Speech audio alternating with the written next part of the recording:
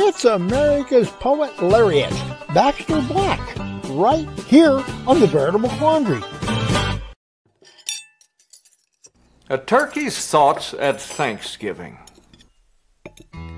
I always thought I'd do more with my life, become a writer maybe, but it was hard to hold a pencil, and I couldn't find a typewriter with the turkey alphabet.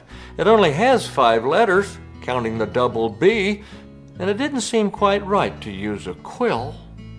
Like any young poet, I entertained the idea of becoming a fireman. I found out I was flammable.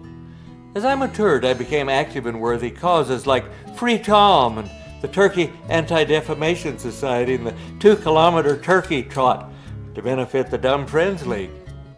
And of course, how could I forget the anti Subway sandwich protest? We held a sit down strike in front of the local subway till most of us got run over. But it all went by so quickly. And now I'm in the prime of life, and I look at my contemporaries. We've all grown and have big plans. I've been working on an International Turkey Olympics. Maybe hold it in Ankara, with events like head bobbing, track leaving, egg laying for weight and distance. I know lots of people don't give the turkey's point of view much thought. They just assume we spend all day gobbling, at each other and eating bugs and staring into space. In my case, I spend most of my time trying to think. Anything, just trying to think anything, and when I put my mind on it, sometimes I get an idea, as you can tell. The hard part is trying to remember it. Did I mention politics?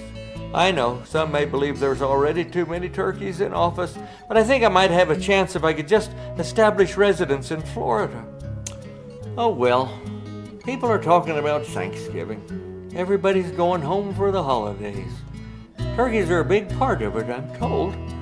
I'm not sure exactly what it is we do, but I, I hope we do it well and that our contribution is appreciated.